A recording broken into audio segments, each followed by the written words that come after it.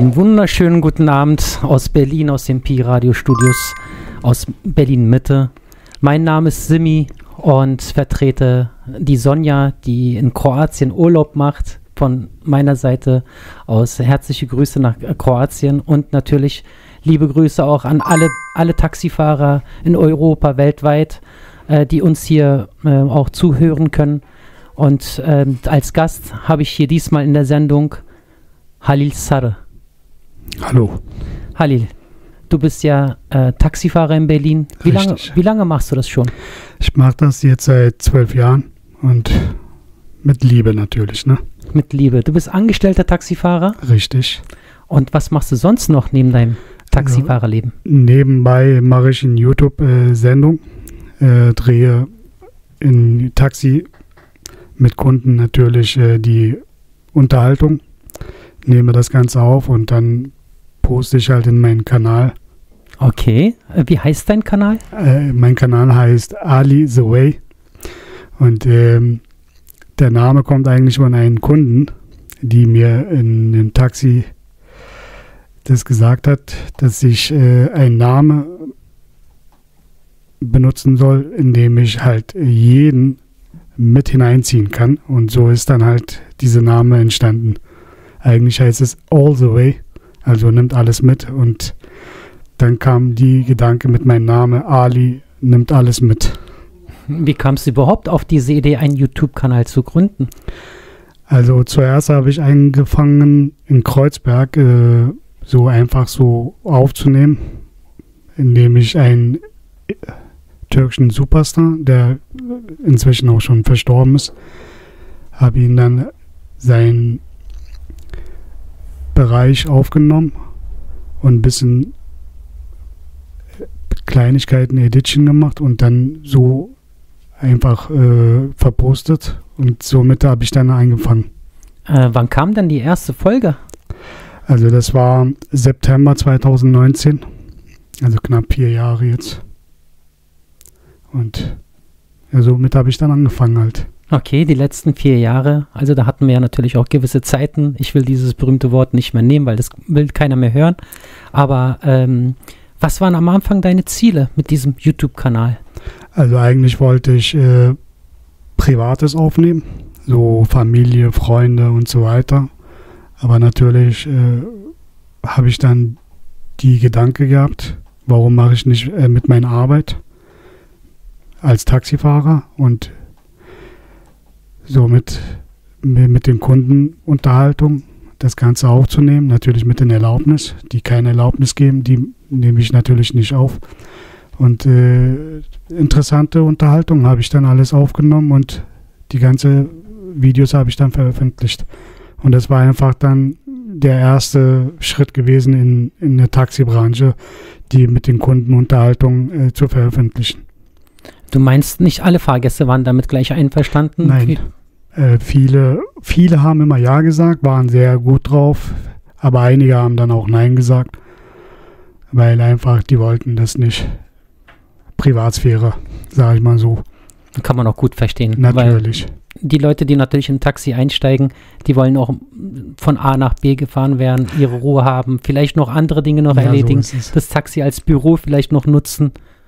Aber ähm, deswegen äh, sollte man natürlich auch auf jeden Fall die, das Einverständnis natürlich einholen. Natürlich, aber das Erste war, dass ich mit den Kunden einfach äh, erstmal die Kunden angeschaut habe. Wenn die angefangen haben zu reden, dann habe ich dann sofort gesagt, okay, warum nicht? Dann habe ich dann sofort immer zugeschlagen und gefragt, äh, wollen wir nicht mal eine Videoaufnahme machen? Ja, um was geht's? Ja, die ganze Unterhaltung, was wir jetzt gerade so reden und so, das nehme ich alles auf. Und dann haben die immer Ja gesagt und äh, somit habe ich dann äh, immer weiter, weiter äh, Videos aufgenommen. Und die Fahrgäste, haben die mal von dir eine Karte verlangt, so nach dem Motto, wo kann ich nachschauen, wo kann ich dich wieder als Taxifahrer bestellen? Also viele haben nachgefragt, aber leider keine Visitenkarte gehabt. Aber ich habe immer gesagt, äh, ihr könnt einfach unter meinem YouTube-Kanal äh, mich auch erreichen, auch Kommentare schreiben und so. Und äh, viele habe ich natürlich auch äh, per Ort äh, die, die Namen gesagt von dem YouTube-Kanal und somit haben die dann sofort auch äh, reingegangen, erstmal abonniert und Like gegeben und äh, dort halt dann äh, auch später mich auch weiterhin begrüßt. Okay, Abonnenten ungefähr die Zahl. Wie viel hast du da? Knappe jetzt 360 Abonnenten. Ich hoffe, das kann noch weiter hochgehen. Na, ich denke mal, die Pi-Radio-Zuhörer werden gleich auf YouTube Ali the Way äh, ein, im Suchschema eingeben und hoffentlich haben wir dann nach der Sendung viel mehr Abonnenten, die natürlich auch jedes Video. Wie viele Videos hast du ungefähr bisher gemacht? Also knappe 17 Videos, aber äh, wie du weißt, hatten wir auch schwierige Zeiten gehabt. Die letzten zwei Jahre, die waren wirklich harte Zeiten, Corona-Zeiten. Da konnten wir gar nichts machen. Und das war einfach der Auszeit erstmal gewesen. Und nachher habe ich dann wieder angefangen, Videos äh, aufzunehmen. Und letzte Zeiten äh, habe ich dann jetzt wieder angefangen, zu Videos aufzunehmen. Aber natürlich, dafür braucht man auch äh, ein richtig gutes Equipment. Eigentlich habe ich ein großes Traum, aber den kann ich dir auch nachher das sagen. Das ist gut. Das ist wunderbar. Das ist auch ein äh, Grund für mich, auch dein Wunschlied oder Wunschlieder. Diesmal habe ich mir die Freiheit genommen, selber keine Lieder zu bestimmen, sondern dass meine Gäste sozusagen das auch nehmen können. Äh, das erste Lied ist von wem? Von Pavarotti und James Brown. Also nur Pavarotti war das natürlich nicht. Nein, nein, Der James war dann Brown. noch mit dabei. James Brown James Brown. Also äh, beide mögen sie in Frieden ruhen. in Frieden. Super Künstler und ähm, eine Inspiration auch für die heutige äh, Jugend, die vielleicht zwar nicht in die Richtung, aber von denen eine ganze eine große Scheibe dann abschneiden können. Ähm, dein YouTube-Kanal, äh, um eben halt von, von der Musik nochmal zum YouTube dann zu kommen, da wird ja auch viel Musik ja gemacht. Ähm, du hast ja auch ein gewisses Equipment. Ähm, was, was für eine Technik wird dort sozusagen im Auto Also Na. im, im, im Auto ist äh, nur ein GoPro als Kamera, aber leider kein Mikrofon. Äh, da habe ich diese Schwierigkeiten immer und äh, muss halt leider immer mit meinem Telefon immer mitarbeiten. Äh, arbeiten.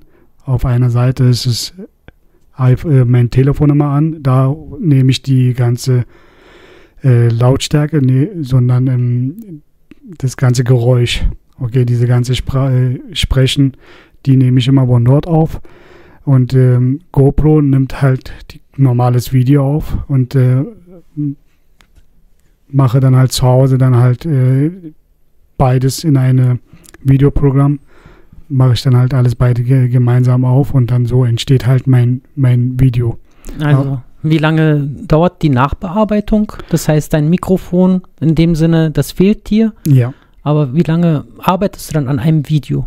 Also, das kommt immer auf deine Begabung an. Ne? Wenn du dieses Videoprogramm gut auskennst, dann kann es bis zu zwei Stunden dauern.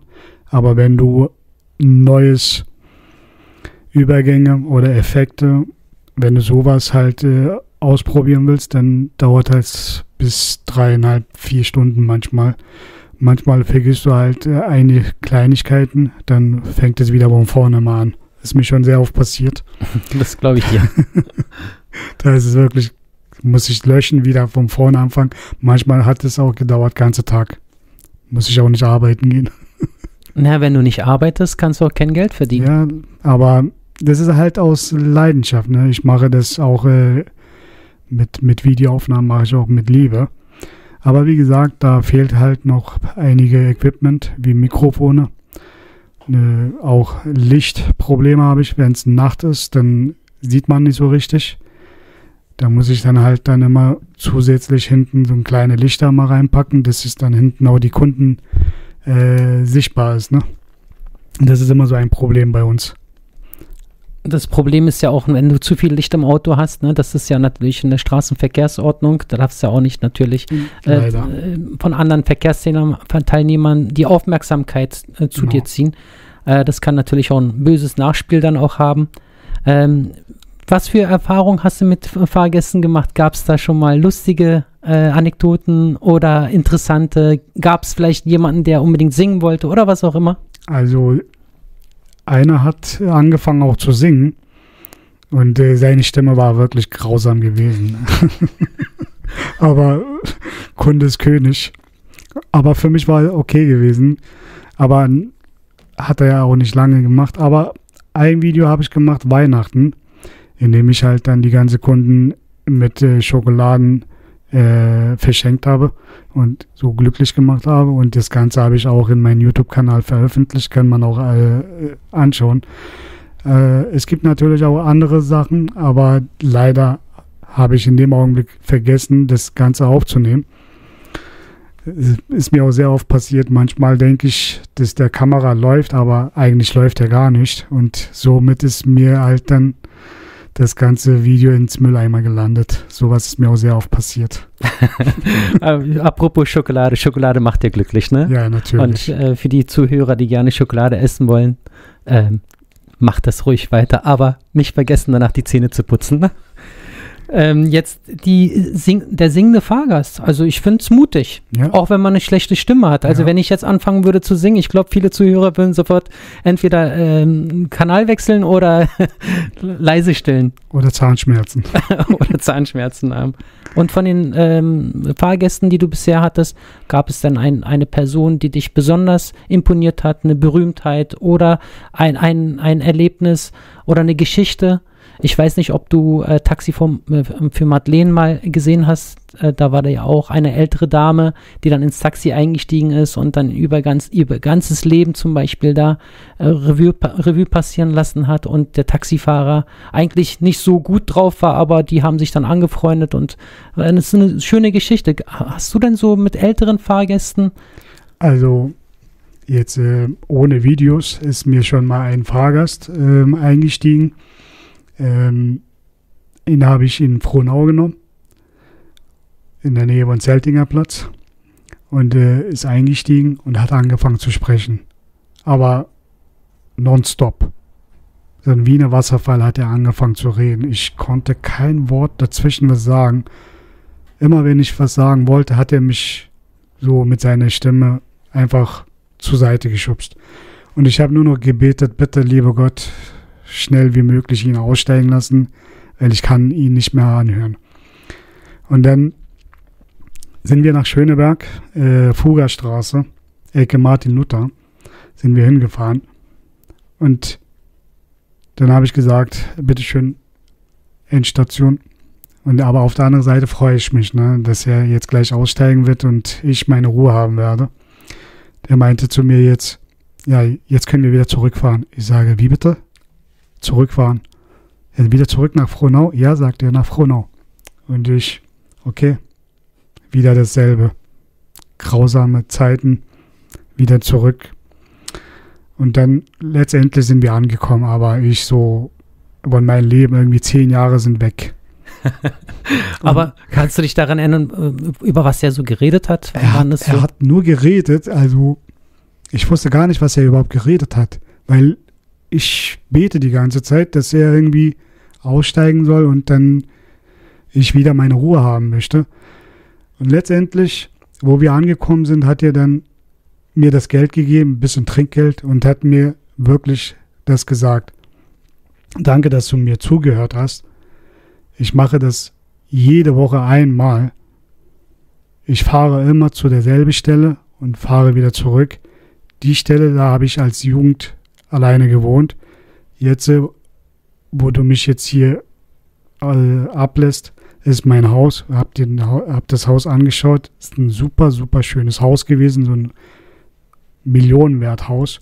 Meinte, ich habe Geld, ich habe Auto, ich habe alles, ich habe ohne Ende alles, aber ich habe keine Freunde mehr.